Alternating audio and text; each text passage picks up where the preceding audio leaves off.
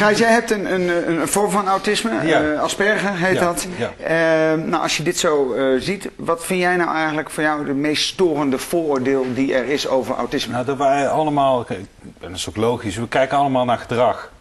En dat gedrag is veel gebaseerd op stereotypes. Ja. Al die stereotypes die we horen, mensen met autisme kunnen niet communiceren.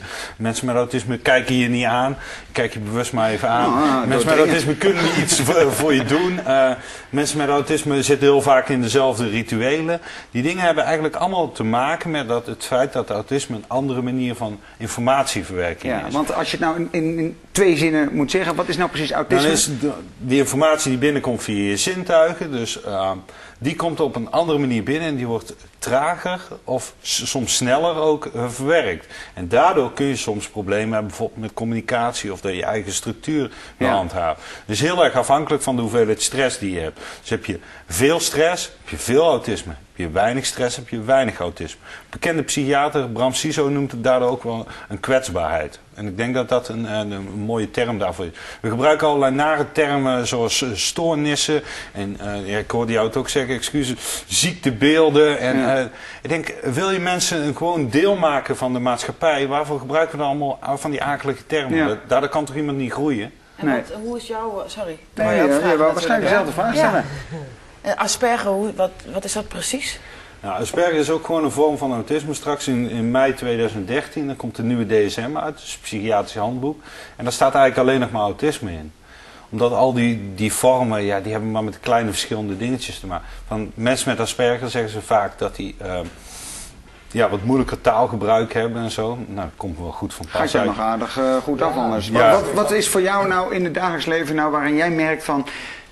Ja, nou merk ik dat ik een, soort van autisme heb. Nou, ik zei het er straks al tegen Mira. Ik kwam hier bijvoorbeeld binnen. En eh, dan wordt er heel erg eh, gezegd van ja, ga daar maar even zitten. En je kunt ook daar gaan zitten. Ja, dat was helemaal niet duidelijk, zeg maar. En hoe laat begint het dan? En ja, daar hangt gelukkig een klok. Dat vind ik wel prettig. Ja. Ik heb wel, ge- wel geleerd om met die eh, onduidelijkheid om te gaan. Je wil gewoon weten, hier ga je zitten. Dus die duidelijkheid is voor mij eh, wel vrij prettig. Ik denk dat meer mensen dat hebben. Dat hebben heel veel mensen. Ja, maar ik, dat is weer het gevaarlijke aan autisme. In autisme zit heel veel herkenbaarheden. Ja. En daardoor zeggen we, goh, dat hebben we allemaal wel eens. Maar ik Ja. kan mijn autisme niet uitzetten. Ik kan niet even vakantie nemen. wanneer kom je erachter, Gijs, dat je, dat je toch iets hebt wat anderen kennelijk niet hebben? Eh, op mijn, eh, mijn dertigste ben ik eh, getest. eh, en, Dat is rijkelijk laat. Ja. Ja, maar ik heb natuurlijk heel mijn leven, eh, nadat ik normaal school heb gedaan, ik ben grote punker geweest, dikke hanenkam, drugsverslavingen gehad en eh, alle dingen. Oorzakelijk verband of niet? Wat? Is er een oorzakelijk verband? Nee, dat weet ik niet. Maar goed, ik heb mezelf altijd anders gevoeld en dat anders zijn ook geuit. Als je het dan hebt over andere manier van informatieverwerking en daardoor dus communicatie niet begrijpen, dan kom je wel in een bepaalde tak van de maatschappij terecht, waar je zelf op een gegeven moment ook zo gaat uiten. Kijk, het is voor ons natuurlijk ook, denk ik, ons zeg ik, maar het is ook lastig om dat autisme, denk ik, te vatten in, omdat het zo breed is. Je hebt dus allerlei gradaties, geven zelf Ja. al aan. Nou, en wij kennen natuurlijk eigenlijk autisme vooral een beetje van Rainman. Dustin Hè? Hoffman. Dustin Hoffman. Ja. Nou, we hebben even gekeken, dat is gebaseerd op een waar gebeurd verhaal. Ja. Kim Peek, laten we daar even naar gaan kijken. I have so many things in me that you can't even guess them all. He's become a living Google.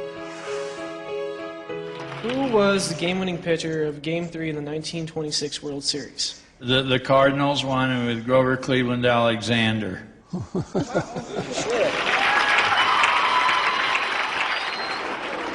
don't have to be handicapped to be different. Everybody is different. yeah, me. Ja, dan zullen we dus wel weer gevraagd worden, kun je daar ook even doosjes lucifers gaan tellen of zo? eh? Nou, weet je dat? Nee, nee, nee, nee. Eh, Daar gaat het over een savant. Is dit... eh, Ja, maar dat is een savant. Dat is Ja, een savant is iemand ja, ja, die, die, die heel veel weet, zeg maar. En eh heeft niks met autisme te maken wat we net heeft zagen. weinig met autisme te maken. Dus die hele Want film... Er is- zijn maar twintig savants in de wereld en wij vergelijken ze allemaal met mensen met autisme. Ja. Dat is echt kloot als je ergens binnenkomt. Toch? Wat? Albert Einstein had toch ook Asperger? Ja, dat zeggen ze, maar dat weten, het is niet getest of zo. Maar wat, zeg jij nou van dat die hele film, want dit, Rain Man is hierop gebaseerd op deze Ja. man. Hè? Er is een strip Ja. geschreven op het leven van deze man. Zeg jij nou van, dit heeft voor jou of voor ons heel veel de- kapot gemaakt? Ja, die heeft heel veel kapot gemaakt. Wat dan? Want wat, wat je, als jij zegt van eh, ik heb een vorm van autisme, wordt er dan vaak tegen jou gezegd: hey Rain Man, Nou, als ga, ik eens- bij ga de eens do- kaarten tellen of zo? Ja, nou, ik kwam bij de dokter en dan vertelde ik een keel onderzoek. Ik zeg, wil je me dat even duidelijk uitleggen? Want ik vind dat prettig, want ik heb autisme. En dan weet ik van tevoren wat er gebeurt. Ze kijkt me zo aan. Dus jij hebt autisme? Ja, ja, nou, Zo Ze denken allemaal dat jij per se dan om 8 uur journaal moet zien of dat je anders gek Ja. wordt. Ja, precies. Maar dat, dat is dus wat er aan kapot gemaakt. De werkelijkheid is anders. Tweede, 1% van onze bevolking, anderhalf procent zeg maar, heeft een vorm van autisme. En daar is twee derde van normaal tot hoogbegaafd. En ik zeg wel eens voor de grap, die loopt gewoon vrij rond in onze samenleving. Ja. Die hebben allerlei jobs en die eh, dragen bij aan een hele hoop dingen. Ja, want jij bent voorvechter voor die groep. Van normaal Ja. tot hoogbegaafde. Ja. eh, want, eh, want dat, zijn, dat is een vergeten groep. Ik vind de- binnen de GGZ is het een vergeten groep. Want er waren heel lang geen activiteiten voor. Nou, ik ben zelf een netwerkborrel iets drinken begonnen voor die groep. Maar ook binnen de maatschappij is het een vergeten groep. Die, voor, ja, die heel tijd te maken heeft met onderschatting en overschatting. Omdat dat net te dicht bij ons allemaal ligt. Dus dan valt het niet zo op of zo. Ja, dan zeggen we dat heeft het allemaal wel. eens. je hebt vast light autisme. Ja, een beetje zwanger bestaat ook niet. Zullen Ja. de dames maar misschien wat wel wil je dan met die mensen, wat, wat wil je ze dan geven? Wat wil je ze dan bieden? Gelijkwaardigheid uiteindelijk. Maar dat hebben ze niet, dat gevoel heb je dan. Dat Nou, gevoel nee, is... nee, maar er is nog geen gelijkwaardigheid. Nee. Omdat, eh, omdat het wat anders is. Eh, en- en mensen Ja, nee. zijn wat anders als Zo een gauw je dus ergens zegt, ik heb autisme, nou, dan krijg je die reactie. Dan is er al geen gelijkwaardigheid meer. Dus het begint eerst met een goed beeld neerzetten in de maatschappij.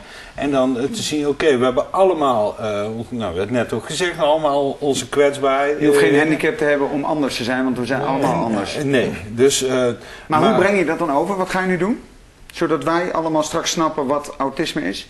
Nou, ik heb je verteld, het is een andere manier van informatie verwerken. Daardoor krijg je soms heel veel stress op je af. Ja, maar wat voor projecten? Wat, wat ga je met die... die, Eh, die nou, ik ben onder andere eh, met, met iets drinken bezig. Dat is gewoon een, een, het is zeg maar een netwerkborrel voor mensen met autisme. Een beetje op niveau bier drinken, zeg ik altijd maar.